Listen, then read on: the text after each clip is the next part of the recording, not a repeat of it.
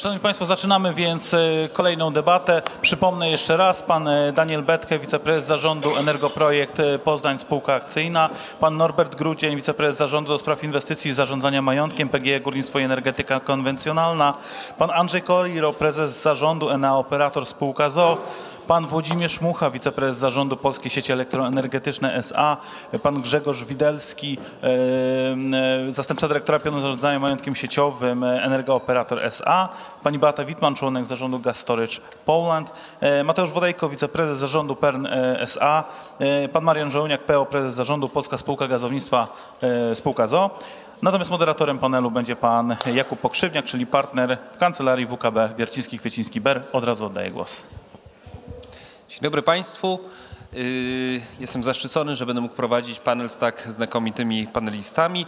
Yy, yy, Będziemy zastanawiać się nad kwestiami rozwoju infrastruktury, nad, nad wyzwaniami, które stoją przed przedsiębiorstwami infrastrukturalnymi i ponieważ jesteśmy już troszeczkę opóźnieni, to żeby nie tracić czasu, pozwolę sobie już przejść do pytań i do, i do y, y, y, części, części merytorycznej. Chciałbym zadać pierwsze pytanie i skierować je do pana prezesa Włodzimierza Muchy. Pytanie o to, jakie wyzwania z perspektywy PSE a, a zrodzi w szczególności rozwój morskich farm wiatrowych oraz plany w zakresie budowy elektrowni jądrowej. Witam Państwa bardzo serdecznie. Y, Nazywam się Włodzimierz Mucha, odpowiadam w PSE za rozwój i inwestycje.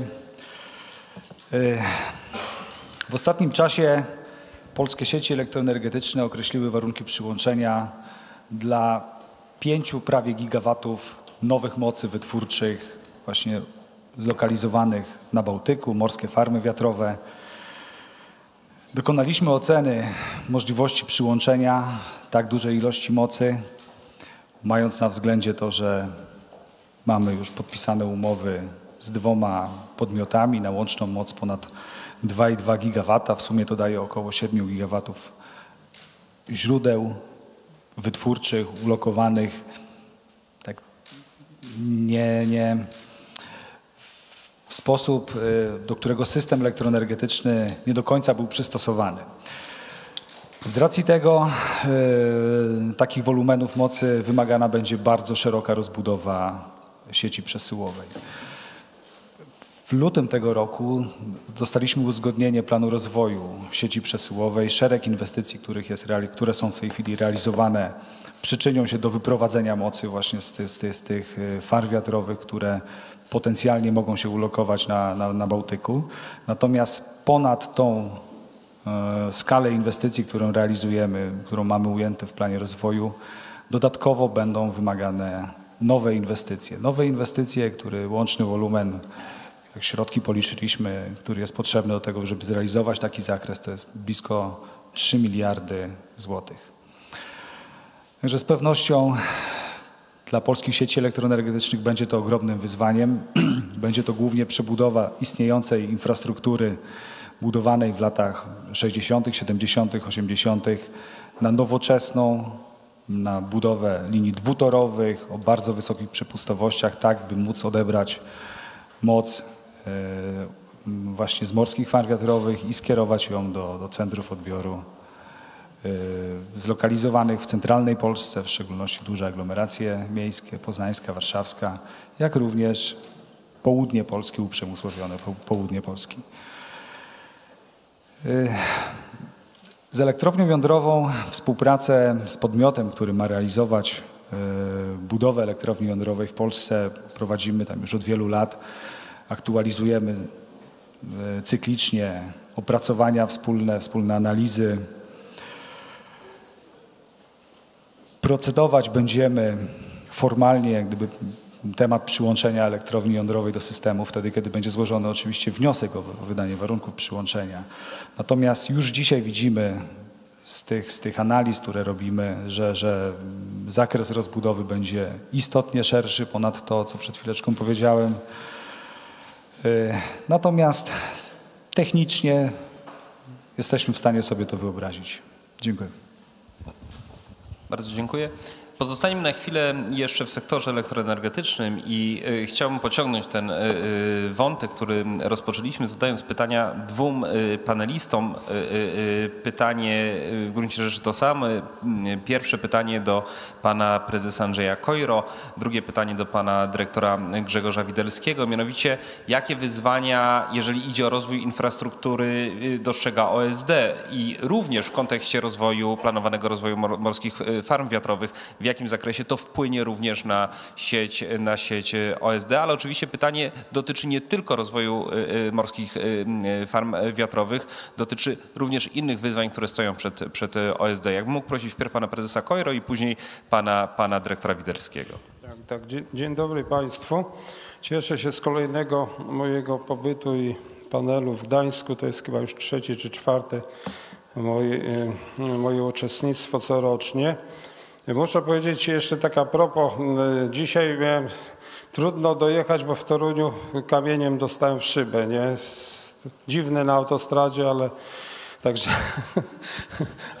do, do, do, muszę powiedzieć, to jest d- duże przeżycie. Natomiast jeśli chodzi, proszę Państwa, o mm, mm, tematyka odnawialnych źródeł energii, energii rozproszonej, y, fotowoltaiki jest ostatnio, można powiedzieć, y, bardzo nagłośniona, y, jeśli chodzi o, o szczebel rządowy, bo jak wiadomo mamy y, Ministerstwo Energii, ale też pani minister Emilewicz mocno zaangażowała się szczególnie w te obszary można powiedzieć, tej, tej małej rozproszonej energii, konkretnie akcentowana jest fotowoltaika. Byłem w Krakowie mm, bodajże dwa tygodnie temu na bardzo y, udanej konferencji z udziałem właśnie przedstawicieli klastrów i to praktycznie wszystkich tych największych liczących się, to było ponad setka myślę przedstawicieli czyli tych koordynatorów klasów, ale też i osób, które tam współdziałają.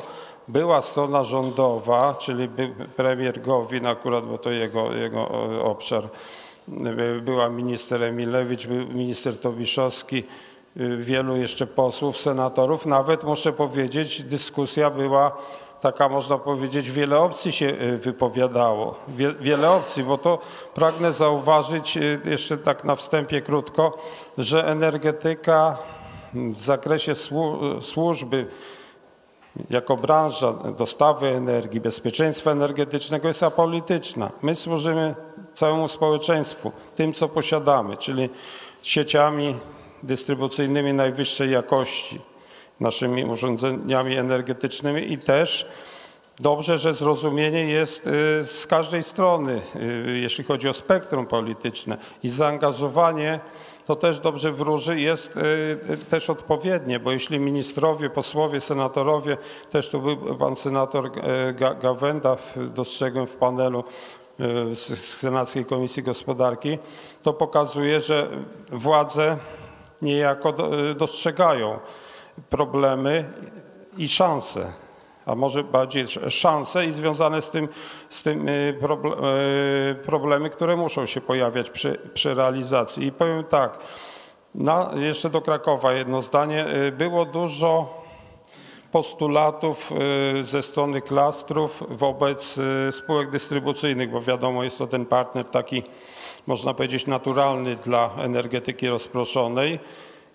Mam nadzieję, że niewiele było zasadnych uwag. Tam chodziło tam o terminy, że, że mogły być szybciej udzielane odpowiedzi, ale zasadniczo nie było y, takiego przekazu, że spółek energetycznych y, odnawialna energia nie interesuje. Nie interesują te wszystkie inicjatywy rządowe. No jasne, że spółki Skarbu Państwa, więc muszą, y, musimy być w tym głównym nurcie. I teraz Oczywiście z chęci wynikają e, plany inwestycyjne i tu jak e, mój e, pan- prezes Mucha przedstawił, my też w swoich koncepcjach współpracujemy z polskimi sieciami elektroenergetycznymi, jeśli chodzi rzeczywiście o odbiór mm, energii z tych źródeł odnawialnych, no jeśli będzie koncepcja offshore'owa, to jasne, że z północy ten prąd ma e, spłynąć e, na południe, gdzie, gdzieś tutaj rozejść się po kraju. Oczywiście e, węglowe mie- mamy głównie na, na południu, także to trochę, trochę w tej chwili z, z, z, burzy przepływ energii, znaczy te koncepcje planowane i, do- i do tego, i do tego spółki, spółki energetyczne muszą się, muszą się przygotować. Dlatego my tutaj mamy kilka takich, a pozwolę sobie mm, tutaj y, krótko już przedstawić koncepcję rozbudowy sieci 110 kV y, we współpracy z PSE, która um, będzie umożliwiała wyprowadzenie y, mm, tej wysokiej generacji z, z farm wiatrowych na morzu.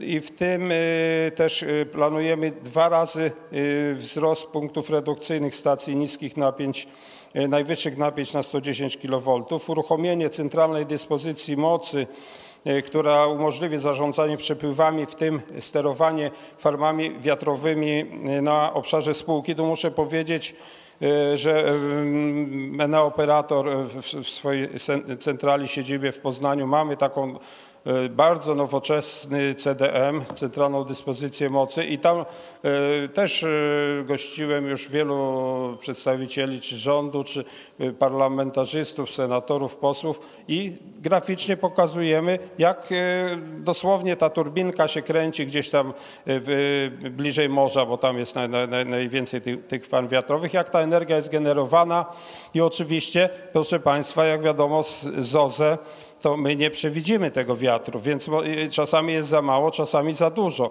I też są sposoby, y, żeby sobie z, tym radzić, żeby no, przede wszystkim nasze sieci, sieci nie, nie, nie ucierpiały. Także jest możliwość tego zdalnego już podejścia. Również y, jeśli chodzi o dynamiczne, dynamiczne obciąża, obciążenie linii, czyli zwiększenie przepustowości tych naszych sieci, no, głównie s- 110 kV. Jeśli chodzi na, na niższych napięciach, y, z kolei jest y, opomiarowanie automatyka, y, która jest niezbędna, żeby dokonać absorpcji energii wytworzonej, aby zachować parametry jakościowe. No przede wszystkim to chodzi o odbiorców, prawda, o tych, o tych klientów, którzy, którzy nas rozliczają. I proszę Państwa, tak, ja, ja powiem w odniesieniu do spółki Enea Operator, ale, ale mamy, jak wiadomo, cztery główne OSD i, i, i Nogi operator w Warszawie. Są to nakłady liczone już w miliardach złotych, jak się sumuje, ale nawet nie sumując y, nakładów inwestycyjnych Enea Operator, to jest y, w tej chwili około miliarda, nawet przekraczamy miliard złotych rocznie, co w planie, y, który teraz inwestycyjnym jest uzgadniany z PSM y, URE na, na najbliższych kilka lat to jest 6-7 miliardów złotych. To można sobie wyobrazić skalę inwestycji w dystrybucji. To jest Ostro, Os- elektrownia Ostrołęka albo nawet trochę więcej. To myślę, myślę, że e, spółki dystrybucyjne rozumieją temat. E, Podejmujemy działania też i wyprzedzające, żeby nie było zarzutów właśnie, że e, bo my musimy przewidywać, że powstają e, piękne inicjatywy i tworzy się jakaś wyspa, czy tworzy się niemożliwość e, funkcjonowania tych, tych, e, tej rozproszonej energii. Myślę, że Mogę do mojej spółki powiedzieć, my nie mamy e, skarg, reklamacji e, związanych e, właśnie z OZE na naszym obszarze. Oczywiście tam e, są te, te inwestycje farm wiatrowych, prawda, te wydane warunki przyłączenia, umowy, bo to już trochę politykę wchodzimy, prawda, my nie, nie kreujemy polityki, tylko funkcjonujemy no, w ramach przepisów prawa, ale jeśli się polityka zmienia, no to mo mogą być też inwestycje nietrafione. No i my niejako jesteśmy też trochę ofiarami y, pewnych zdarzeń s- polityczno-ekonomicznych, ale myślę, że też sobie radzimy i, i, i, i tam, gdzie można, to ugodowo. Dziękuję bardzo. Bardzo dziękuję. To jakbym mógł prosić jeszcze pana e, dyrektora Grzegorza Widelskiego również o e, e, odpowiedź na to samo pytanie. Dzień dobry Państwu, Grzegorz Widelski, Energooperator. E, Zacznę może od lądowych e, farm wiatrowych. E, Obecnie w Energooperator pracują farmy wiatrowe o łącznej mocy 2,5 tysiąca. E, W Polsce mamy na ten moment farmy o łącznej mocy 5600 megawatów. Więc licząc szybko w Energooperator mamy 44% e, całkowitej mocy farm wiatrowych, jakie pracują w Polsce. Dla zobrazowania zapotrzebowanie szczytowe odbiorców przyłączonych do naszej spółki wynosi 4100 MW, czyli 60% zapotrzebowania na moc. W szczycie mogłyby e, zaspokoić farmy wiatrowe. E, Zapotrzebowanie minimalne to jest około nieco ponad 1800 MW, więc w dolinie obciążenia farmy mogłyby zaspokoić całe zapotrzebowanie i jeszcze byśmy mogli eksportować moc do sąsiadów. Parę słów o, o, o jakby rysie historycznym, bo od, od 2007 roku wydawaliśmy dość dużo warunków dla farm wiatrowych. Niestety te możliwości przyłączeniowe, jakie w naszej sieci są, dość szybko się skończyły. Te możliwości nie są zbyt wielkie, ponieważ sieć wysokiego napięcia na północy kraju jest dość słabo rozwinięta, nie ma tu wielkiego przemysłu. I w związku z tym e, nie ma potrzeby, żeby historycznie ją wymiarować na, na duże obciążenia. I w związku z tym od 2008-2009 roku zaczęły się już problemy z wydawaniem kolejnych warunków przyłączenia, bo tą sieć po prostu trzeba było wzmacniać. Przez plan rozwoju oczywiście te wzmocnienia planowaliśmy, były one realizowane. Natomiast e, obecnie e, mamy jeszcze 2700 MW farm wiatrowych w umowach o przyłączenie. E, Słyszymy, że w tym roku ma być aukcja na 2,5 tysiąca megawatów, więc biorąc pod uwagę, że mamy bardzo dobre warunki wieczne na północy, spora część tych farm wiatrowych, które są e, w umowach o przyłączenie, pewnie się będzie e, chciała na tym terenie realizować.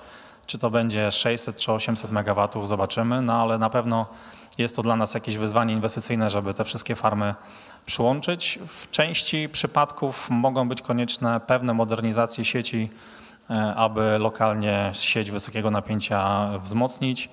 Em, To, to jest jakby zadanie, które również w naszych planach e, mamy.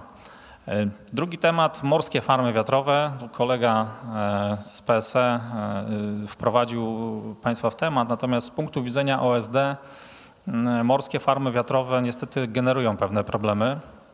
Mianowicie e, większość tej mocy rzeczywiście wpływa do sieci przesyłowej dalej będzie przesyłana na południe kraju, ale fizyka jest nieubłagana i część mocy będzie e, wpływała do sieci wysokiego napięcia, powodując e, w niektórych miejscach przeciążenia. My te przeciążenia mamy w tej chwili zidentyfikowane. Być może, że będzie to nawet 30 linii do modernizacji i mam nadzieję, że PSE wspólnie z nami no, będzie jednak dążyło do, do zmiany układu pracy sieci w taki sposób, żeby ta sieć wysokiego napięcia nie była tak wrażliwa na działanie morskich farm wiatrowych, a, a to są farmy o bardzo dużej mocy jednostkowej, w związku z tym no, jest, to, jest to moc olbrzymia i, i istotnie wpływająca na, na naszą sieć. I y, ostatni wątek, który jeszcze chciałbym y, tu zaznaczyć, to, to mikroinstalacje. Mikroinstalacje bardzo szybko się rozwijają. E, Obecnie pracuje w sieci Energooperator 70 MW mikroinstalacji.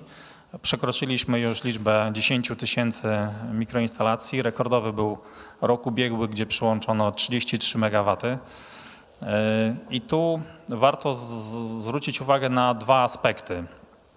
Po pierwsze, sieć niskiego napięcia jest projektowana do zasilania odbiorców. To znaczy sieć ta uwzględnia to, że odbiorcy nigdy nie włączają wszystkich odbiorników jednocześnie. To się po prostu nie zdarza e, i jest pewna niejednoczesność poboru tej mocy i w związku z tym w przypadku odbioru jest ta sieć w zupełności wystarczająca, żeby odbiorców zasilić. Natomiast w przypadku, gdy zaczynają powstawać e, źródła, na przykład fotowoltaiczne, no to tu już generacja jest zupełnie niezależna od czynników ludzkich, jest po prostu zależna od pogody. Jeżeli przychodzi dzień słoneczny w danej miejscowości, wszystkie mikroinstalacje chciałyby wygenerować pełną moc, jaką potrafią. E, I to powoduje, że mogą gdzie niegdzie pojawiać się problemy z pracą tych źródeł. Na razie widzimy to jako jednostkowe przypadki e, i wyłącznie wtedy, gdy e, klienci używają falowników jednofazowych. W związku z tym myślę, że warto niewiele więcej zainwestować w mikroinstalacje z falownikiem trójfazowym, aby tych problemów uniknąć.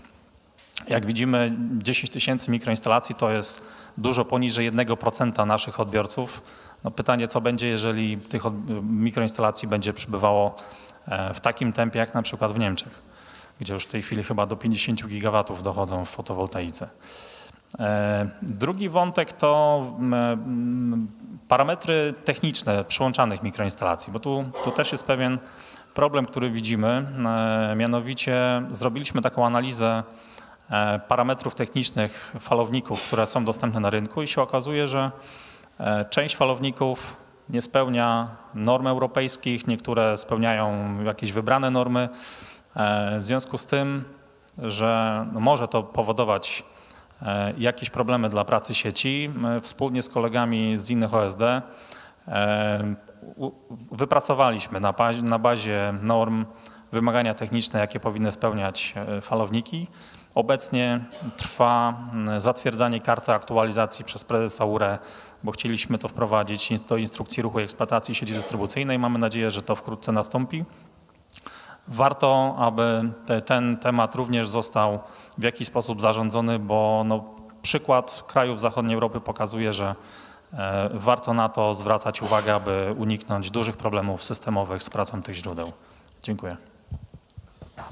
Bardzo dziękuję. Jeszcze zostając na chwilę w elektroenergetyce, chciałbym też e, e, zadać pytanie panu prezesowi Norbertowi e, Grudniowi z PG Górnictwo i Energetyka Konwencjonalna. Jakie są kluczowe, kluczowe wyzwania związane ze zaspokojeniem zapotrzebowania polskich odbiorców, w tym przemysłu na energię elektryczną i jak widzi pan, jak postrzega pan ryzyka w kontekście szeroko dyskutowanej tak zwanej luki generacyjnej, jak mógł prosić.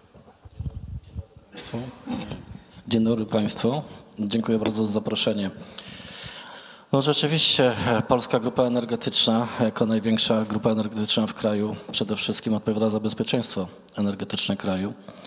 Przypomnę tylko, że już w grudniu 2016 roku do naszego statutu wpisano jeden z obowiązków, a więc praca nad zapewnieniem bezpieczeństwa energetycznego kraju. My dzisiaj, my jako linia biznesowa, która odpowiada za wytwarzanie systemowe, a więc górnictwo i energetyka konwencjonalna, przede wszystkim skupiamy się na odtworzeniu mocy wytwórczych właściwie we wszystkich naszych lokalizacjach. E, przypomnę, że w tym roku naszym kluczowym projektem jest oddanie bloku 5 i 6 w elektrowni Opole. Są to dwa bloki po 900 MW, a więc tak naprawdę mówimy o tym, że w tym roku 1800 MW zostanie oddane w elektrowni Opole. Będą to jednostki naprawdę wysokosprawne, to będzie poziom 43-44% w porównaniu z tą naszą średnią 36%, którą mamy w naszych konwencjonalnych jednostkach. Możemy powiedzieć jasno, że około 20% to oszczędności na CO2. Bardzo rozwinięty e, projekt jest e, otworzenia mocy w elektrowni Turów. Tam realizujemy pracę nad blokiem numer 7, 495 MW. Ten blok będzie oddany w przyszłym roku. I rozpoczęliśmy szeroko, rozpoczęliśmy w zeszłym roku wprawdzie projekt inwestycyjny w elektrowni Dolna Odra. To, że w Dolnej Odrze pracujemy już bardzo intensywnie nad budową dwóch bloków gazowo-parowych, w sumie 1400 MW. E, kilka miesięcy temu przeanalizowaliśmy, wcześniej planowaliśmy bloki 500 i teraz będą tam dwa bloki 700. To już projekt jest dość mocno zaawansowany. E, mamy już warunki przyłączeniowe wydane z gaz systemu. W tej chwili jesteśmy na etapie rozpatrywania naszego wniosku w PSE. Kończymy praktycznie postępowanie środowiskowe. Mam nadzieję, że jeszcze w drugim kwartale tego roku rozpoczniemy e, wyłanianie generalnego wykonawcy. Te dwa bloki są uruchomienie ich właściwie przewidziane jest do końca 2023 roku. Oczywiście będzie to głównie zależało od tego, jak gaz system będzie gotowy do podania gazu, ale tutaj nasze negocjacje e, idą e, bardzo, można powiedzieć, w porozumieniu i, i, zakładam, że do końca 2023 roku ten gaz na terenie Dolnej Odry będziemy mieli. Oczywiście pozostałe odtwarzanie mocy wytwórczych będzie związane z PEP-em 2040. Jeszcze raz przypomnę, że jako Polska Grupa Energetyczna z większościowym udziałem Skarbu Państwa my jesteśmy dedykowani do realizacji polityki energetycznej i założeń. Także nie wykluczamy kolejnych projektów. Myślimy mocno o dywersyfikacji paliw, a więc no, ten pierwszy krok to jest akurat wprowadzenie gazu ziemnego do naszego mikstu. Dzisiaj oparci jesteśmy wyłącznie na węglu kamiennym i węglu brunatnym. Jeśli chodzi o lukę generacyjną, no przypomnę tylko, że problem luki generacyjnej, tak zwanej luki generacyjnej pojawił się w roku 2016, kiedy PSE rozesłało ankiety do wytwórców, pytając ich o plany, jakie będą do roku 2023 i tutaj głównym elementem były coraz bardziej rygorystyczne wymagania środowiskowe. Oczywiście troszeczkę później dopiero pojawiły się wymagania i konkluzje BAT, a więc to, co nas spotka w sierpniu 2021 roku. E, tutaj również muszę powiedzieć, że mocno pracujemy i właściwie mamy w tej chwili zaawansowanych wiele projektów i dostosowaniu wielu jednostek do konkluzji BAT. E, dodam tylko, że to jest koszt e, miliard 800 milionów złotych, to co sam GIEK wydaje, nie mówię tu już o naszych innych liniach biznesowych, w naszym miksie paliwowym. Oczywiście jeśli chodzi o sam miks paliwowy i tą lukę generacyjną, no ma także i pakiet zimowy. E, bardzo duży wpływ, a więc prowadzenie w zeszłym roku, 18-17 roku, pojawienie się 550 kg na megawattogodzinę pakietu właściwie wyeliminowało nam konwencjonalne jednostki węglowe. Dlatego też tą dolną Odrę przewidzieliśmy głównie na gazie ziemnym, ale także biorąc pod uwagę projekt dostaw gazu przez Baltic Pipe, a więc tak naprawdę realizujemy projekt kom kompatybilny z tym, co w tej chwili PGNiG i Gas System planuje w swoich zamierzeniach inwestycyjnych. Jeśli chodzi o same wyłączenia, no na dzień dzisiejszy planujemy wyłączenie jedynie dwóch bloków w Dolnej Odrze. To są bloki po 2 razy 200 MW i to bloki, którym się kończą derogacje. Prawdopodobnie skończą się jeszcze w tym roku, jak nie to właściwie w pierwszym kwartale przyszłego roku czyli y, Dolna Odra, która miała sześć bloków, bo dwa bloki zostały wyłączone w latach 2013 i 2014. Dolna Odra, która miała sześć bloków przykładowo po, po, po 200 MW, 230, a więc moc około 1200 MW. Po tworzeniu będzie miała 800 MW na węglu plus 1400 na gazie. Zatem z naszej strony ja zakładam, że jeśli spojrzymy na PGE, górnictwo, energetykę konwencjonalną, to my tej luki nie mamy. My tak naprawdę odtwarzamy moce i tak naprawdę jeszcze z górką. Oczywiście Oczywiście będziemy brali pod uwagę, że nasze jednostki wysokosprawne w Opolu czy w Turowie e, no, będą przede wszystkim wypierały nasze pozostałe jednostki, które są jednostkami no, już troszeczkę starszymi wiekowymi. Dziękuję. Bardzo dziękuję. Y, w pewnym sensie dotknęliśmy już tematu gazu, bo przecież infrastruktura to nie tylko elektroenergetyka. W związku z tym chciałbym przejść do y, kolejnego pytania do pani prezes Beaty Wittmann.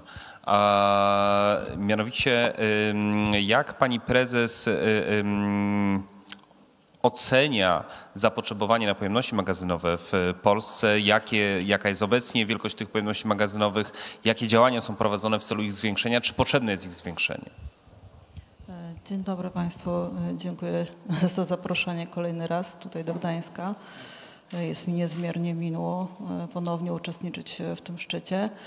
E, jeżeli chodzi o e, pojemności magazynowe w Polsce, e, jesteśmy operatorem siedmiu magazynów w Polsce. Są to magazyny złożowe, są to magazyny kawernowe i o tych drugich chciałabym dzisiaj Państwu więcej powiedzieć. Jeżeli chodzi o, o to, czy, czy są potrzebne i czy się rozbudowujemy. Na dzień dzisiejszy realizujemy naszą strategię, jeżeli chodzi o rozbudowę.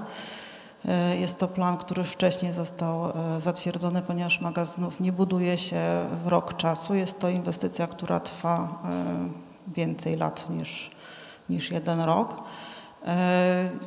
Tym roku oddaliśmy dla klientów nowe pojemności właśnie w magazynie kawernowym w Kosakowie. Jest to magazyn tutaj niedaleko położony od Gdańska, jakieś 20 kilometrów stąd.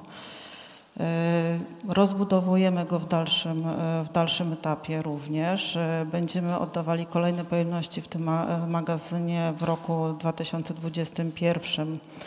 Planujemy zakończenie rozbudowy tego magazynu w 2022. Planujemy udostępnienie tych pojemności dla klientów. E, I wtedy będzie to pojemne, dostępne e, pojemności to będzie e, ponad 3 miliardy 100, mniej więcej 150 milionów metrów sześciennych, e, które będą dostępne na rynku. E, Jeżeli chodzi o e, to, czy są, czy dzisiaj widzimy potrzebę dalszej rozbudowy ponad to, co mamy zaplanowane.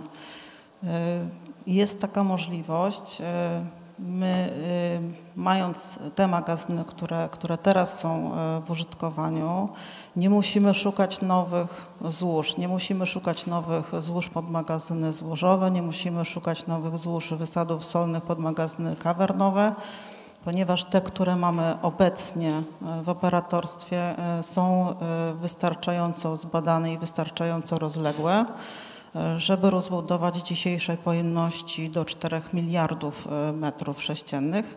Natomiast pytanie jest takie, czy, czy, to, czy to jest potrzebne. I to jest pytanie również do panów tutaj, którzy przede mną się wypowiadali, ponieważ energetyka gazowa jest czymś, czego do tej pory e, na rynku nie mieliśmy e, w, takim, w takiej ilości jak teraz. E, Jest to nowy, nowy gracz na rynku, elektrownia gazowa. Mm, Ten sektor będzie się rozwijał w tym kierunku. Tutaj też, co panowie wspominali, węgiel musi zrobić miejsce dla innych, dla innych źródeł wytwarzania. Jest to też e, właśnie energetyka gazowa. E, Jeżeli spojrzymy na, e, na plany, które są odnośnie energetyki, jak w najbliższych latach będzie, wyglądał, będzie wyglądała produkcja energii elektrycznej z OZE, to wydaje się, że niezbędna jest budowa źródeł właśnie gazowych i wtedy również e, wydaje się niezbędna rozbudowa magazynów e, z dwóch powodów. E, Pierwszy to jest taki, że znacząco zwiększy się wolumen e, gazu, który będzie na rynku, który będzie potrzebny, e, żeby e, obsłużyć wszystkich. A druga sprawa to jest e, szczytowe zapotrzebowanie na te paliwo, jeżeli chodzi właśnie o energetykę gazową, która przede wszystkim będzie dzisiaj działa w szczycie, nie w podstawie. W przyszłości e, wydaje mi się, że e, to się może, e, to się może i pewnie się zmieni, że będzie to też po prostu energetyka działająca w podstawie i wtedy, wtedy też te magazyny będą bardziej potrzebne niż dzisiaj, przede wszystkim magazyny kawernowe. E, I to też jest ukłon, ukłon w stronę panów, że wydaje się, że jakiś dialog między nami wydaje się już niezbędny dzisiaj e, albo jutro, e, ponieważ dzisiejsze, dzisiejsze usługi, które mamy, one być może nie są do końca dostosowane do Państwa potrzeb, ale mm, wydaje się, że będą potrzebne takie dedykowane właśnie dla energetyki gazowej. E, Magazyn e, działa 24 godziny na dobę e, i również, również praca takiej, takiej elektrowni być może będzie, będzie generowała potrzebę innych usług na rynku niż te do, dotychczas, które są dostępne. Nie, bo jeżeli chodzi o to pytanie, to... Bardzo dziękuję. Zostaniemy na chwilę w sektorze gazowniczym. E, Pytanie do pana prezesa Mariana Żołniaka z mm, e, Polskiej Spółki Gazownictwa. E, Jakie wyzwania w zakresie rozwoju infrastruktury stoją przed e, OSD gazowym w kontekście e, w szczególności rozwoju gazomobilności? Chciałem spytać o, o coś, co dużo się mówi o elektromobilności, prawda? Ale mamy też gazomobilność. Jakie tutaj są wyzwania i jakie są plany w związku z tym OSD gazowego, żeby tym wyzwaniom sprostać? Witam Państwa, dzień dobry. Bardzo się cieszę, że mogę uczestniczyć w tym panelu i w tym konkretnym, kiedy zaczynamy mówić o najbardziej ekologicznym, najbardziej przyjaznym dla środowiska, jakim jest energia z gazu ziemnego. Mój, na poprzednim panelu, Szanowni Państwo, szef grupy prezes Woźniak wspomniał, ja to dzisiaj powtórzę za nim po raz kolejny, najbardziej najczystsze, najbardziej ekologiczne paliwo to jest błękitne paliwo gazowe. Najmniej zanieczyszczone. Dwutlenkiem węgla najmniej za, zanieczyszczamy, zanieczyszczona nasza atmosfera. A proszę Państwa, nikt nie wspomniał dzisiaj, że właśnie przez dwutlenek węgla, przez pyły PM2,5, PM10, jak podaje Światowa Organizacja Zdrowia, w Polsce umiera prawie 45 tysięcy ludzi rocznie. To jest średniej wielkości miasta. O tym się nie mówi, ale proszę Państwa, tak to jest. Kraje zachodnie, przedmówcy, szczególnie jak słyszeliśmy w pierwszym panelu, kraje skandynawskie, do tego dochodziły przez 40 lat, o czym my dzisiaj dopiero zaczynamy, zaczynamy rozmawiać. Proszę Państwa, wracając do pytania, jeśli chodzi o tą gazową elektromobilność, to Polska Spółka Gazownictwa zgodnie z ustawą z 11 stycznia 2018 roku planuje do końca roku 2020, czyli to się już dzieje, wybudować w 36 aglomeracjach 38 stacji tankowania gazem CNG, a dwie takie stacje będą badawcze LCNG. Proszę Państwa, skąd się wzięło te 36? No, zgodnie z ustawą to muszą być aglomeracje powyżej 100 tysięcy mieszkańców. W tej aglomeracji musi być zarejestrowanych ponad 60 tysięcy samochodów. I na jeden tysiąc ma przypadać, na jeden tysiąc mieszkańców ponad 400 samochodów. I w tych aglomeracjach do końca 2020 roku te stacje będą stały.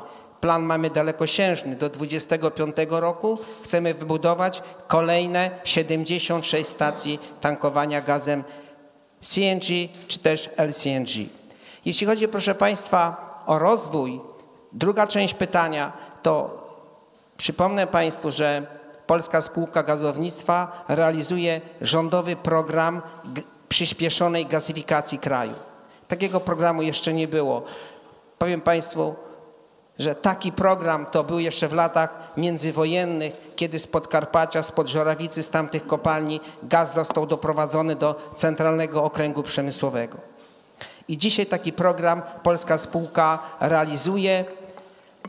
W Halinowie 11 października ubiegłego roku miałem przyjemność zaprezentować taki program przyspieszenia gazyfikacji kraju.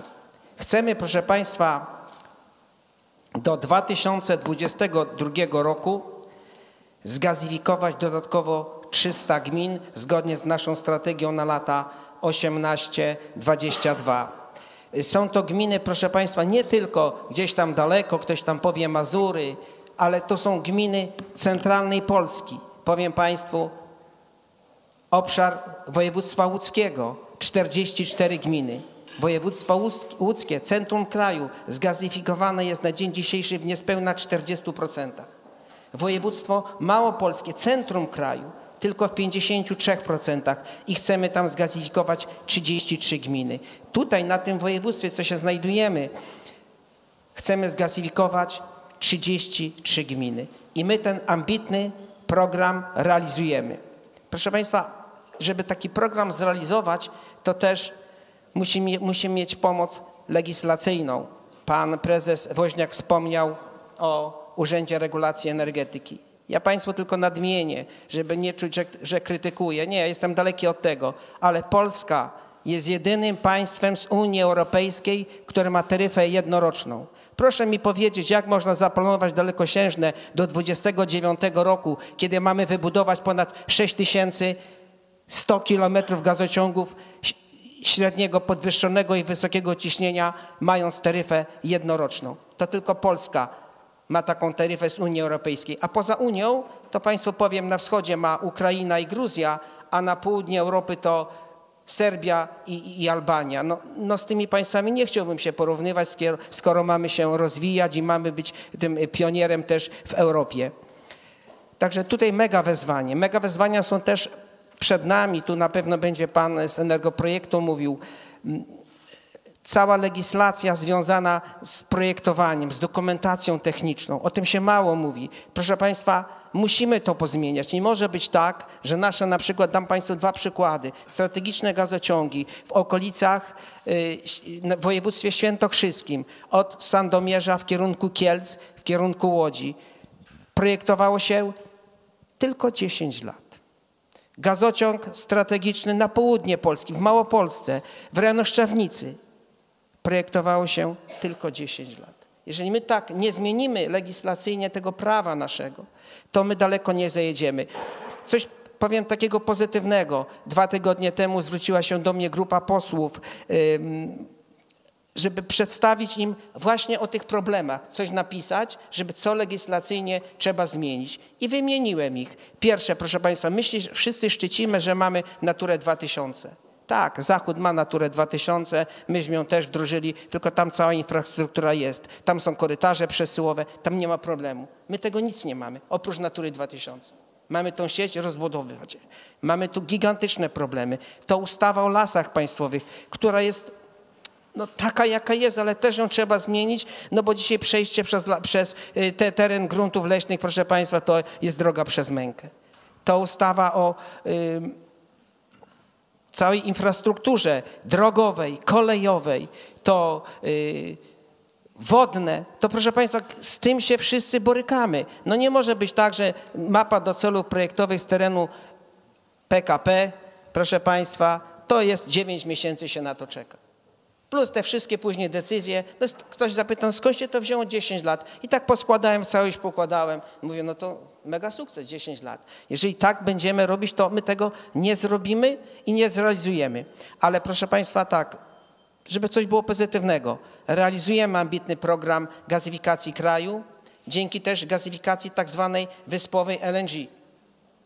I to, proszę Państwa, z tego programu 300, 300 gmin, któreśmy ogłosili w Halinowie, mogę, się, mogę już dzisiaj powiedzieć śmiało, zrealizowaliśmy 33 gminy. 33 gminy dodatkowo już ma dostęp do błękitnego paliwa, a postawiliśmy, proszę Państwa, 20 stacji już LNG. Bardzo szybko, bardzo szybko taką stację LNG można, można postawić. Są mobilne, e, są też m, takie stacje, które wzmacniają nam system gazowniczy. Y, Także w tym kierunku idziemy i w tym kierunku będziemy się rozwijać. Oczywiście nigdy nie jest tak, żeby ta stacja e, e, LNG była docelowo do końca. No i wiadomo, że przy dużych odbiorcach gazu musimy doprowadzić gaz ziemny siecią przewodową. I takie strategiczne zadania mamy, proszę Państwa, w planach Polskiej Spółki Gazowniczej do 2022 roku szczególnie 9 gazociągów, żeby po prostu dostarczyć odpowiednią ilość gazu do odbiorców. Tak jak powiedziałem, stacja Tymczasowo, bo przy dużych odbiorcach no, po prostu system nie wydoli, bo, bo te cysterny musiałyby chyba jeździć tam i z powrotem, albo tych punktów tankowania tyle było do tej stacji, żeby po prostu nadążyć z rozbiorem gazu. Ale jeżeli nie wprowadzimy tych ustaw legislacyjnych, nie wprowadzimy, proszę Państwa, specustawy na projektowanie strategicznych gazociągów, to będziemy troszeczkę z tyłu.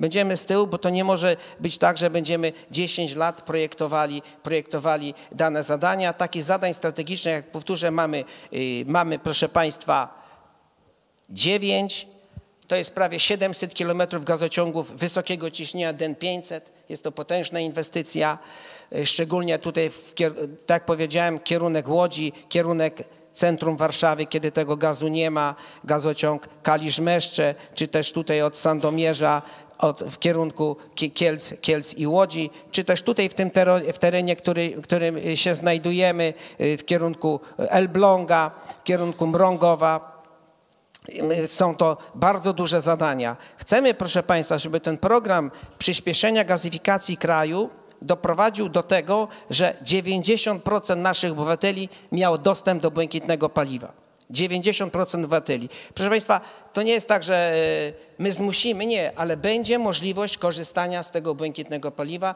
i będą się mogli klienci, e, nasi odbiorcy przyłączać do sieci gazowej. My im umożliwimy, że te sieci gazowe będą i będzie można z tego błękitnego, błękitnego paliwa skorzystać. Liczymy na to, że do 2022 roku yy,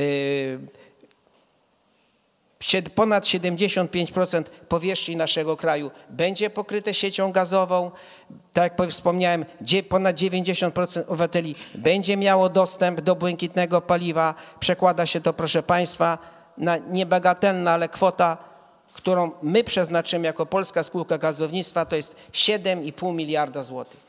I powtórzę jeszcze raz to, co powiedziałem Państwu na początku. Żeby to wszystko można zre- zrealizować, to też muszą być te i aspekty regulacyjne, i asp- aspekty prawne, żebyśmy mieli tą taryfę wieloletnią, tak to jest w krajach skandynawskich, kiedy mają czteroletnie, nie wspomnę Wielkiej Brytanii 8, Niemcy czy też inne kraje, y, nasze sąsiednie mają po 5-6 lat, kiedy można sobie przewidzieć, można wiedzieć, jakie będziemy mieli wpływy, ile będziemy mogli przeznaczyć na inwestowanie, na, na, na rozwój tej, tej sieci gazowej, żeby można było i to powietrze, żeby w końcu było czyste, naprawdę ekologiczne, żeby tych pyłów PM2,5, PM10 już nie było, żeby nie truliśmy naszych dzieci, naszego społeczeństwa, żeby nam się dużo du, żyło coraz dłużej, coraz lepiej i żeby, proszę Państwa, ten kraj mógł się, mógł się rozwijać. A powiem, że z tego programu dopowiem Państwu, to chcemy wybudować 5 tysięcy kilometrów sieci gazowej średniego ciśnienia w ramach tego programu, co się przełoży na 32 tysiące, przeszło 32 tysiące e, potencjalnych odbiorców, odbiorców gazu. Dziękuję bardzo. Bardzo dziękuję. Pan prezes dotknął bardzo ważnego zagadnienia, mianowicie no, inwestycje to nie tylko kwestie techniczne, środowiskowe, nie tylko e, inżynieria e, finansowa, e, ale to również regulacje prawne, które mogą im sprzyjać albo, albo mogą je utrudniać. I, I w tym kontekście pozwalam sobie zadać pytanie panu prezesowi Mateuszowi Wodejko z Pernu, który wkrótce przecież będzie korzystał z nowej ustawy o przygotowaniu i realizacji strate- strategicznych inwestycji w sektorze naftowym. Czy ta, czy ta ustawa, jak, jakie nadzieje państwo wiążą z tą ustawą? Czy, czy ona spełnia państwa oczekiwania? Co ona pomoże? Tak, ja. Dzień dobry Państwu. Ja reprezentuję spółkę, która też zajmuje się paliwem, może nie błękitnym, ale, ale, ale, ale paliwem, e, paliwami płynnymi i, i surowcami, czyli ropą naftową. Jesteśmy e, posiadaczem i operatorem e, sieci rurociągów paliwowych i naftowych na terenie Rzeczypospolitej Polskiej. E, W listopadzie 2017 roku e, została uchwalona przez rząd polityka rządowa dla infrastruktury logistycznej w sektorze naftowym. E, Polityka, która zakłada szereg inwestycji, w tym realizowanych przez PERN. Te inwestycje to zarówno inwestycje liniowe, jak i inwestycje w pojemności magazynowe. Polityka rządowa dla sektora naftowego jest konsekwencją sukcesu, jaki osiągnął rząd w zwalczaniu szarej strefy w, poprzez wprowadzenie pakietu paliwowego, energetycznego, transportowego i poprzez dynamiczny wzrost e, legalnej konsumpcji paliw w Polsce. A co za tym idzie też legalnego importu i legalnej produkcji. E, Jeżeli chodzi o inwestycje, które, które te inwestycje liniowe, które stają przed Pernem, to inwestycje, to dwie inwestycje, dwie ogromne inwestycje, które mają pewną historię i które się nie działy w poprzednich latach, a które my zaczęliśmy mocno tutaj zaawansowaliśmy. Jedna inwestycja to inwestycja na południu, to jest około 100 kilometrów nowego rurociągu z Boronowa do Trzebini, czyli tak powiem e, zwiększenie i zoptymalizowanie dostaw e, paliw płynnych na Górny Śląski do Małopolski. E, To jest inwestycja, która będzie przebiegać przez 11 gmin, wiele tysięcy działek. A druga inwestycja to inwestycja w drugą niczkę e, odcinka pomorskiego rurociągu naftowego z Gdańska około 250 km, czyli łącznie blisko 350 km inwestycji liniowej. Rurociąg pomorski również bardzo istotny, bo ta druga nitka ma umożliwić e, czy też zwiększyć pewność dywersyfikacji dostaw ropy z morza, dostaw e, ropy do Polski, do rafinerii płockiej, czyli e, umożliwić poprzez tą drugą nitkę e, separację, lepszą separację gatunków ropy dostarczanej do rafinerii płockiej. E, Oczywiście, jak Państwo doskonale wiedzą, realizacja inwestycji liniowych e, e, nie jest to łatwy proces, przede wszystkim z uwagi na procesy e, planistyczne MPZP w poszczególnych gminach, e, uzyskiwanie zgód e, właścicieli gruntów, na wejście na te grunty, na, na, na, na, na służebności. W związku z tym podjęliśmy, e, tak powiem, e, podjęliśmy inicjatywę, którą e, szczęśliwie, tak powiem, została wsparta przez rząd Rzeczypospolitej Polskiej i uchwalona przez parlament, podpisana przez prezydenta w postaci ustawy z 22 lutego 2019 roku w sprawie przygotowania realizacji inwestycji strategicznych w sektorze naftowym. Ustawa ta wchodzi w życie z dniem 18 kwietnia i powinna znakomicie ułatwić realizację tych dwóch ważnych e, inwestycji liniowych. Jeżeli chodzi o inwestycję południową, e, tą, ten rurociąg paliwowy 100 km do Trzebini, zamierzamy zrealizować go w ciągu najbliższych niecałych trzech lat, czyli do końca 2021 roku. E, Inwestycja z kolei ta północna, inwestycja naftowa, e, według wcześniejszych prognoz miała być realizowana w ciągu około 8 lat, natomiast po wejściu w życie specustawy tej, tej, w sprawie tych inwestycji e, strategicznych, liniowych zakładamy, że powinniśmy e, przy braku istotnych problemów zdążyć do końca 2023 roku, czyli 5 lat. E, Tutaj warto wspomnieć, że w latach wcześniejszych zdarzały się inwestycje liniowe w zakresie rurociągów naftowych, które były realizowane na 13 lat. My planowaliśmy 8, a dzięki specustawie to będzie około 5 lat. Także tu widać, jak duże znaczenie ma specustawa i działania rządu i parlamentu dla, dla Pernu i dla pewności dostaw e, paliw i ropy naftowej e, do polskich odbiorców. Bar- Bardzo dziękuję.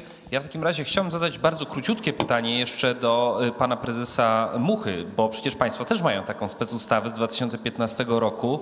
Y, y, Jest to ustawa o przygotowywaniu i realizacji strategicznych inwestycji w zakresie sieci przesyłowych. Czy państwo uważają, że ona spełniła swoje funkcje?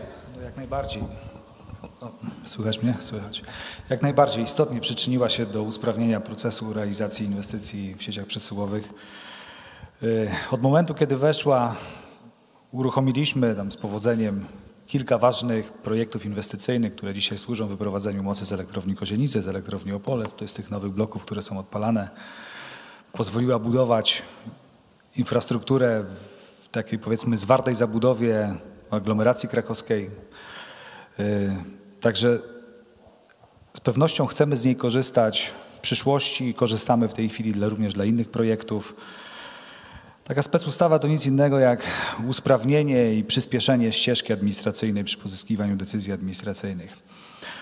Jest tam pewien taki harmonogram nałożony na urzędy administracji przy wydawaniu kolejnych decyzji, decyzji lokalizacyjnej, decyzji środowiskowej o pozwoleniu na budowę i wierzcie mi Państwo, naprawdę to działa.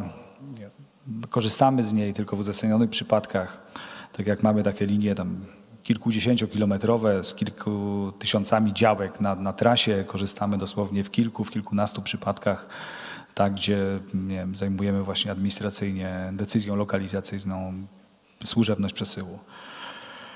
Yy, W przyszłości yy, z pewnością będzie nam potrzebna jeszcze ta, ta, ta, ta specustawa. Jest wiele jeszcze takich pozycji w tym tak zwanym załączniku, które, które z pewnością będzie, będą wykorzystywana ta kwestia przez, przez PSE, mm, tak by skutecznie zapewnić wyprowadzenie mocy z nowych źródeł, które się połączą w systemie, po, pojawią w systemie, z morskich farm wiatrowych, z bloków konwencjonalnych, tutaj, o których wspomniał prawdopodobnie tutaj pan prezes odnośnie w Dolnej Odrze, y, jak również przy integracji naszego systemu elektroenergetycznego z systemami europejskimi zrzeszonymi w NCE. Dziękuję. Jedno pytanie, które sobie zawsze zadają prawnicy, y, w takiej, m, y, gdy rozmawiamy o specustawach i które myśmy sobie też za- zadawali, y, gdy mieliśmy przyjemność y, parę lat temu, dobrych y, parę lat temu y, y, doradzać przy, przy, przy projekcie ustawy dotyczącej inwestycji w terminalu LNG, prawda, która też wprowadziła tego typu ułatwienia. Czy po co nam specustawy? Czemu to nie może być regulacja ogólna po prostu, prawda? Bo specustawa jest specustawą od czegoś, co jest ogólne, czemu nie może mieć dobrej regulacji ogólnej, która nam pozwoli y, wszystkie inwestycje realizować szybko i bez, bez zbędnych y, problemów, y, y, tylko musimy się uciekać do specustaw. Znaczy właśnie tak sobie skomentowaliśmy tutaj z panem prezesem, że łatwiej jest przyjąć kilka specustaw niż jedną systemową ustawę związaną z procesem planistycznym przyjąć w kraju. Dziękuję. Chciałbym teraz zmienić perspektywę i spojrzeć na inwestycje z zupełnie drugiej e, e, strony, bo cały czas mówimy o e, e, e, perspektywie firm, które inwestują czy zamierzają inwestować. Natomiast e, no, e, słyszeliśmy o, tych, o tym, że tych inwestycji będzie dużo. Słyszeliśmy o tym, że one, one są potrzebne. Więc można powiedzieć raj dla projektantów, raj dla wykonawców. Chciałbym sp- spytać pana prezesa Daniela y, Betkę z y, Energoprojektu Poznań w związku z tym o to, jakie szanse, ryzyka, zagrożenia biznesowe y, y, y, dostrzega on y, w najbliższych latach w związku z rozwojem, planowanym rozwojem infrastruktury na y, polskim rynku, jakie są dotychczasowe doświadczenia, y, y, y, jakie główne trudności się uwidaczniają, gdzie są, gdzie są z drugiej strony szanse. Dzień dobry Państwu. Ja tak, gdy słuchałem moich szanownych przedmówców, to mi serce rosło, ale tylko do pewnego momentu. Bo te bogate programy inwestycyjne w Polsce, niez- niezbędne, potrzebne, ktoś musi zbudować. A mam wrażenie, że potencjał firm na rynku elektroenergetycznym maleje. E, My nie wyciągnęliśmy wniosków chyba z zapaści na rynku budownictwa drogowego. Nie wyciągamy wniosków e, z pogłębiającej się zapaści na rynku budownictwa kolejowego. I mam e, wrażenie, że jesteśmy na skraju dużych problemów w budownictwie energetycznym. To wynika, broń Boże, nie ze złej woli, żeby to nie było odebrane jako kamyczek do ogródka e, zarządzających tymi sieciami, ale e, nie uczymy się na własnych błędach.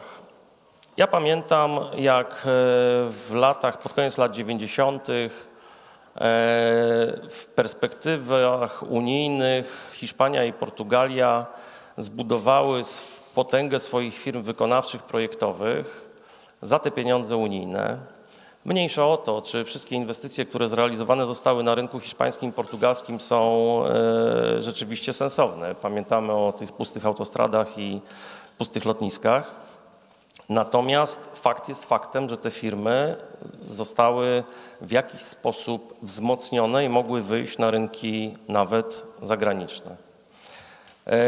My w Polsce myślę, że nie szanujemy rodzinnego kapitału, rodzimego kapitału, też rodzinnego. E, I e, mam wrażenie, że mm, nie dostrzegamy z punktu widzenia, znaczy inwestorzy nie dostrzegają e, też problemów, jakie trawią branżę tą wykonawczo-projektową. Ja y, przez 20 lat y, pracowałem w spółce Skarbu Państwa, która była też istotnym, y, istotnym zamawiającym na rynku budownictwa szeroko rozumianego energetycznego, naftowego. Tu ukłon w stronę pana prezesa Mateusza Wodejki. E, Natomiast e, też zarządzałem inwestycjami, zarządzałem spółką z inwestycjami rzędu kilkudziesięciu, kilkuset milionów złotych i wiem, jak to wygląda od strony inwestora.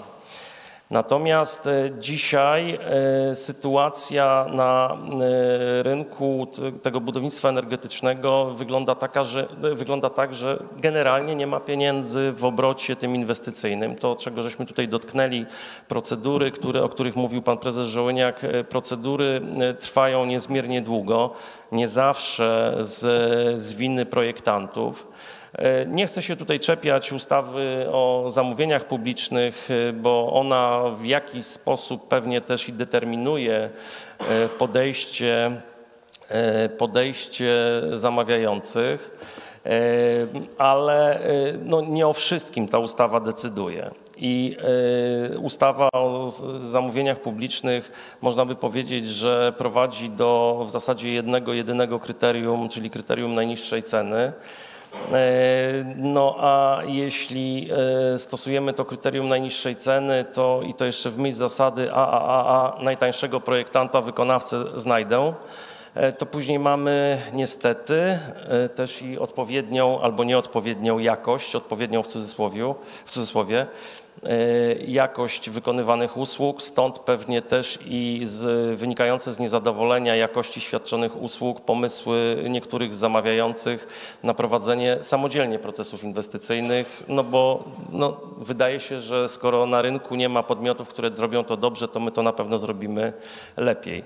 E, Kwestia dyskusyjna, czy jest to prawdziwe. Ja dostrzegam e, w systemach e, zamówień, e, również i tych wewnętrznych, i w umowach stosowanych przez zamawiających, wiele rzeczy, które, na które nie znajduję wytłumaczenia. Nie tylko nie jestem w stanie ich sobie wytłumaczyć ustawą o zamówieniach publicznych, ale czasem mam wrażenie, że przepraszam tu pana mecenasa i pana prezesa e, Kojro, ale e, e, im mniej prawników wydaje mi się w procesie inwestycyjnym, a więcej inżynierów, to tym większe szanse są na sukces tego projektu inwestycyjnego. Jeśli e, sobie e, postudiowalibyśmy umowy inwestycyjne i specyfikacje istotnych warunków zamówienia publikowane nawet i w ostatnich miesiącach, e, już po tej fali trudności, z jakimi borykają się firmy budowlane w zakresie płynności finansowej, w zakresie nierealizowalnych kontraktów, to dalej pojawiają się takie kwiatki. Ja pozwolę sobie zacytować e, na przykład cytat z jednej ze specyfikacji. Decyzję środowiskową przekaże zamawiający w terminie trzech miesięcy od podpisania umowy. To jak rozumiem jest ukłon w stronę e, projektanta wykonawcy, że nie będzie musiał się borykać z problemami związanymi z decyzją środowiskową ale w dalszej części umowy, e, no, tak, w dalszej części umowy należy wykonać wszelkie prace wskazane w umowie, a także inne prace, których wykonanie okaże się konieczne do wykonania przedmiotu umowy. Czyli rozumiem, że mam złożyć ofertę na coś, co, czego do końca oczywiście ktoś powie, jestem profesjonalistą, powinienem przewidzieć wszystko. No, wiemy, jak wygląda życie, kiedy cena decyduje o e, zwycięzcy takiego przetargu. E, ciąg dalszy takiego kuriozalnego ryzyka, które trzeba ponieść w momencie, kiedy składamy ofertę. Cytat. Odpowiedź na pytania do SIWZ-u w miarę możliwości zostanie udzielona w dniu przetargu po otwarciu ofert w trakcie negocjacji. No, daleko nie zajedziemy. Daleko nie zajedziemy. I y, kuriozum. Termin wykonania pierwszego etapu 5 tygodni od daty podpisania umowy. W dalszej części umowy zamawiający ma 15 dni roboczych na uwagi, a później wykonawca ma 10 dni roboczych na odniesienie się do uwag. Czyli mamy 25 dni, 5 tygodni, tydzień roboczy 5 dni, jak wiemy. Z zastrzeżeniem, że nie stanowi to nowego terminu wykonania i opóźnienie jest podstawą do naliczenia kar. Czyli rozumiem, że podpisując umowę mam zakończyć pierwszy etap, zgłosić coś, czego. To, to, to są naprawdę cytaty. Ja sobie specjalnie je sobie e, wypisałem z różnych tekstów e, specyfikacji ogłaszanych e, dla, dla, w tym sektorze energetycznym. E, ja zdaję sobie sprawę z tego, że mm, dla inwestorów e, prowadzenie inwestycji e, to również jest duże przedsięwzięcie, ale chciałbym, żeby inwestorzy chcieli sobie pomóc. To znaczy, żeby jednak wspierali się i słuchali głosu tych, którzy te inwestycje realizują, którzy z tymi inwestycjami na miejscu, w terenie, szczególnie jeśli mówimy o budownictwie energetycznym i inwestycjach liniowych, to ci właśnie e, projektanci, ci właśnie wykonawcy, oni znają najlepiej specyfikę lokalnego, e, przepraszam, lokalnego urzędu. Ja wiem, że to znowu burzy się krew pewnie wśród prawników, jak mówię, że każdy urząd e, ma swój strój. No niestety tak trochę to wygląda. E, ja pamiętam jedną z dyskusji, którą w gronie e, takim prawniczo-eksperckim żeśmy sobie prowadzili e, na temat pewnego schematu postępowania i, i w procesie inwestycyjnym i tak na dobrą sprawę konkluzja była jedna. To zależy od urzędu. I mało tego, nie od urzędu w sensie gmachu, od urzędnika. No, daleko tak nie zajedziemy, jeśli chodzi o. I te ryzyka, które e, no tak niestety się składa, że tymi ryzykami e, inwestor nie chce się podzielić. E, do tego no, wręcz przerzuca no, już te przysłowiowe kary za opóźnienia w domyśle dla nieprawników, czyli za niezawinione działania. E, no, dla nas jest to rzecz, która nas bardzo boli. Boli nas dlatego, że z dwóch powodów. Po pierwsze, oczywiście z powodu finansowego. Po drugie, jest jeszcze jeden element, który nas bardzo dotyka na etapie już realizacji takich umów. W specyfikacjach e, istotnych warunków zamówienia jest napisany pewien standard wykonania e, inwestycji czy projektu. E, w trakcie realizacji inwestycji, która trwa lat, czasami 3-4, wewnętrzne standardy techniczne się zmieniają u zamawiającego, no i później nie jesteśmy w stanie uzgodnić dokumentacji, tłumacząc, że zaraz, ale my w CIWzie to żeśmy się opierali na nie, nie, nie, teraz się zmieniły standardy, nie odbierzemy. Oczywiście ktoś może powiedzieć, że no to próbujcie się, do, próbujcie dochodzić swoich racji w sądzie, no ale czy my mamy przekonywać się, kto ma rację, czy mamy zrealizować projekt inwestycyjny? I tu mamy z tym dość poważny kłopot. Poza tym jest jeszcze jedna rzecz. Ja nie chcę jakby zbyt mocno narzekać na temat y, płynności finansowej. Ktoś powie, że podmioty w Polsce są źle zarządzane, w związku z tym dlatego nie mają tej płynności. Ja mówię o podmiotach projektowych i wykonawczych, ale to nie jest prawda i y, proszę mi wierzyć, ja po 20 latach pracy w spółce Skarbu Państwa, w której nie było żadnego problemu z płynnością finansową, E, i tylko e, od partnerów z wykonawstwa, nazwijmy to, realizujących inwestycje na naszą rzecz, czasami słyszałem, ktoś powie, jak otworzyłem uszy, słyszałem o tych kłopotach, to dzisiaj widzę, jaki to jest problem i ja dzisiaj mam wrażenie, że niektóre z postępowań przetargowych są adresowane do banków E, jeden z ostatnich przetargów zamawiający oczekuje wykonania projektu linii w, okresie czterech lat. Płatność oczywiście jednokrotna na koniec po wykonaniu, ustanowieniu wszystkich służebności, opłaceniu tych służebności, uzyskaniu decyzji środowiskowych, e, decyzji wyłączeń z produkcji leśnej, rolnej, opłaceniu tych decyzji wystawionych de facto na inwestora E, pomijam kwestię i koszt prac projektowych. E, bo dlaczego pomijam? Ano dlatego, że jak żeśmy przymierzyli się do tej oferty, to koszt prac projektowych, czyli efektywna działalność projektowa, to jest mniej więcej 30, powinna stanowić 35% e, wartości oferty. Reszta to są koszty finansowe. No więc poszliśmy do banku jednego, drugiego, trzeciego z dobrym standingiem nie powinniśmy mieć problemu z uzyskaniem finansowania e, kredytowego na realizację, czyli będziemy kredytować inwestora. Bank mówi, dobrze, dam wam kredyt, ale no, muszę się na tym jakoś zabezpieczyć. To dajcie mi albo 110% w gotówce, albo przynieście mi cesję od inwestora. No to my idziemy do inwestora, inwestorze kochany, zrealizujemy, będziemy mieli finansowanie, ale daj nam cesję.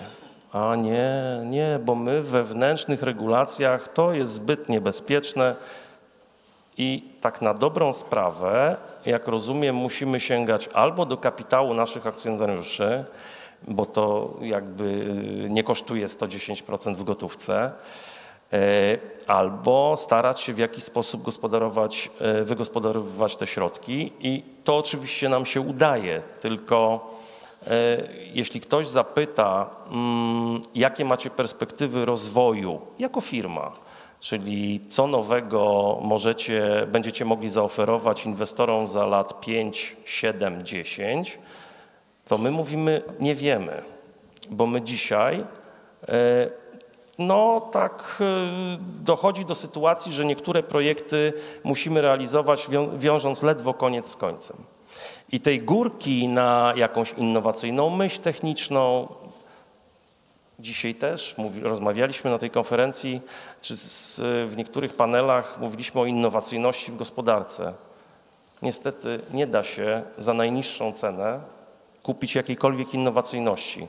Po prostu jeśli jeszcze w dodatku e, specyfikacja będzie ogólnie napisana, to e, ja to zawsze swoim projektantom y, mówię, że którzy czasami chcą y, rzeczywiście, no panie prezesie, ale to będzie tak fajnie zrobione, to jest najnowsze rozwiązanie i tak dalej. A ja mówię, ale zaraz, zamawiający y, oczekuje syrenki czy Mercedesa? Mówi, no syrenki. To proszę zrobić syrenkę.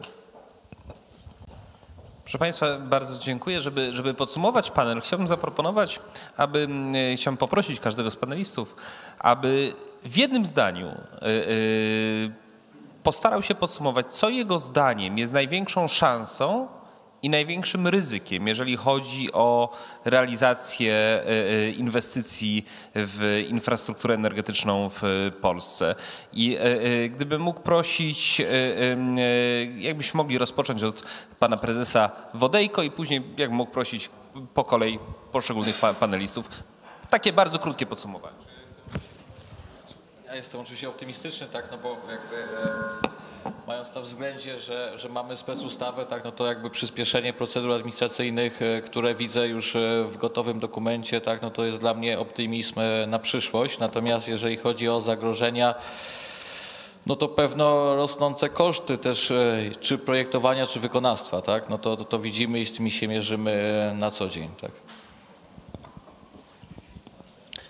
No, z mojej strony to szansą jest pojawienie się rynku mocy. Rynek mocy stał się dla nas bardzo dużym wsparciem e, w szeroko zakrojonym procesie inwestycyjnym. Jako dodatkowe przychody rzeczywiście te projekty modelowane przy udziale przychodów stałych z rynku mocy, zwłaszcza dla elektrowni systemowych, to mają bardzo duże znaczenie. Natomiast największym zagrożeniem no jest, są firmy wykonawcze, a więc terminowość, zasoby ludzkie i możliwości firm wykonawczych. I chyba tyle. Jeśli chodzi, proszę Państwa, o Polską Spółkę Gazownictwa, to to, co wymieniłem, powtórzę jeszcze raz. Specustawa dla zadań strategicznych, które posiada na przykład Gaz System, który buduje autostrady, prawda, a my chcemy budować te drogi szybkiego ruchu i bez specustawy tego w terminie nie zrobimy. Przypomnę, 10 lat to nikt z nami nie będzie rozmawiał.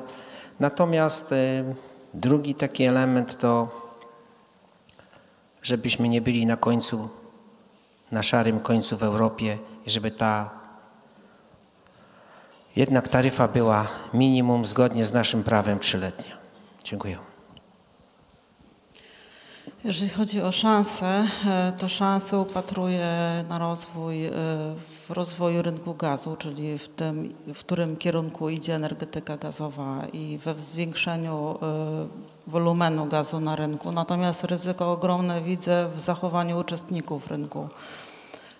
Ponieważ jeżeli oni będą działali na dużym ryzyku, no to też sytuacja na rynku może być trudna w sytuacji kryzysowej. I tutaj apel do, w takim razie do regulatorów, żeby nie zapomnieli e, o tych nowych uczestnikach, o nowych e, gałęziach, które korzystają z gazu, żeby oni nie byli pomijani w regulacjach, które ograniczają poziom ryzyka na rynku.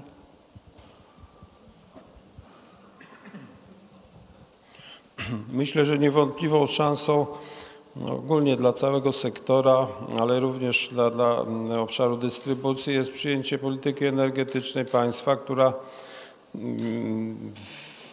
w, swoim, y, w swojej zawartości odnosi się również do e, szeregu właśnie e, działań inwestycyjnych w, w, w obszarze dystrybucji energii elektrycznej. No, takim najbardziej znanym e, elementem jest program skablowania polskich sieci e, dystrybucyjnych. Oczywiście nie w 100%, bo miejmy świadomość, że e, to też koszty by nie przyniosły e, zamierzonych efektów, ale, ale tak maksymalnie e, właśnie, żeby zabezpieczyć się choćby przez, przed e, tymi nawałnicami z roku 2017, gdzie większość linii napowietrznych na naszym obszarze północno-zachodniej Polski ucierpiała. Myślę, szansą też jest stabilizacja i rozwój gospodarczy Polski, bo sprawy idą w dobrym kierunku, ale zagrożeniem na przykład było rzeczywiście y, proces taryfowania, y, który- y, niedawno został zakończony, jeśli chodzi o obszar dystrybucji, a szansą w tym zakresie jest stabi- stabilizacja. Być może rzeczywiście, co tutaj pan prezes PSG akcentuje trzy- trzyletnie taryfy. No trudno mi się tak na szybko wypowiadać, niemniej jednak, niemniej jednak tu też by się przydała taka stabilizacja, e, stopa zwrotu, e, koszty uzasadnione, żebyśmy też nie w ciemno nie, nie kalkulowali, czy presurę nam wszystko uzna, czy część odrzuci, e, prawda? Tu nie chciałbym wchodzić w szczegóły, ale ta stabilizacja, jak w każdym biznesie, jest, jest niez, niezbędna. Stabilizacja również w zakresie przepisów prawa i wsparcie prawa polskiego, czyli y, Sejmu, Sejmu, ministerstw w naszych codziennych bolączkach. Przykładem takiego sukcesu y, podam jest choćby skuteczne działanie Ministerstwa Energii i Ministerstwa Środowiska. Tu był minister Kowalczyk.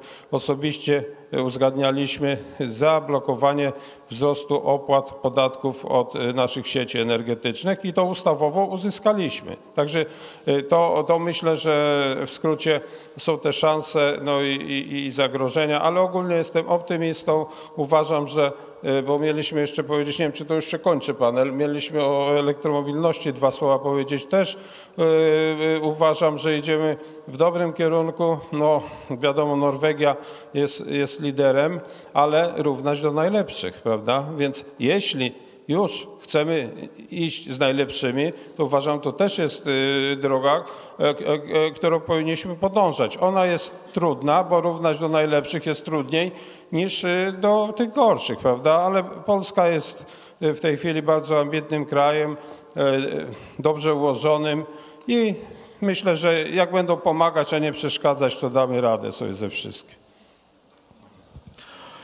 szanse. Wydaje się, rozwój projektów innowacyjnych polegających na, w obszarze przesyłu energii elektrycznej, polegających na rozwoju sieci stałoprądowych, ryzyko przeinwestowanie w sieć elektroenergetyczną w kontekście potencjalnego rozwoju generacji rozproszonej. Dziękuję. Ja się zastanawiam, ja ujmę może to e, jedno życzenie takie szczegółowe i jedno bardziej ogólne na przyszłość. To życzenie szczegółowe, taka refleksja mi się nasunęła, że marzyłbym sobie też o takiej taryfie, według której można by było rozliczać e, prace projektowe, w której byłoby miejsce, oprócz oczywiście uzasadnionych kosztów, to również jeszcze marża, która przewiduje e, możliwość rozwoju. E, To jest ta, ta refleksja taka szczególna, natomiast ja myślę, że takie życzenie natury ogólnej, żebym, jeśli zostanę oczywiście zaproszony w przyszłym roku, żebym nie musiał się powtarzać. Przepraszam, bo zapomniałem. Chcia, chciałem zaprosić pana prezesa. My organizujemy spotkania z wykonawcami, bo rozumiem, że Poznań, czyli adresatem też może być i Eneoperator tutaj. Te wszystkie problemy my od ręki wyjaśniamy. Niezwłocznie nic nie zalega. Jeśli pan ma jakieś e, uwagi, to, a wymaga tego e, e, to skorygowania, na pewno to e, tak, tak poczynimy. Nadchodzące lata niosą dla operatorów systemów dystrybucyjnych wiele sz- różnych wyzwań. E, Mówiliśmy tu już o przyłączaniu OZE. E, Na pewno wyzwaniem będzie rozwój elektromobilności, budowa stacji ładowania samochodów elektrycznych, ale przede wszystkim e, też wielkim wyzwaniem jest e, kablowanie sieci średnich napięć. E, Te wyzwania to jest oczywiście szansa, żeby firma się rozwijała, żeby ten majątek nasz się odmładzał i e, powiększał. Natomiast największym ryzykiem, myślę, na ten moment może być kwestia finansowania tych inwestycji. Chciałem bardzo podziękować. E, Chciałem podziękować e, panelistom za, za udział w dyskusji. Chciałem podziękować Państwu za e, przysłuchiwanie się tej dyskusji. Udało się nadrobić czas, także na styk, ale, ale jesteśmy o czasie. Jeszcze raz bardzo uprzejmie dziękuję.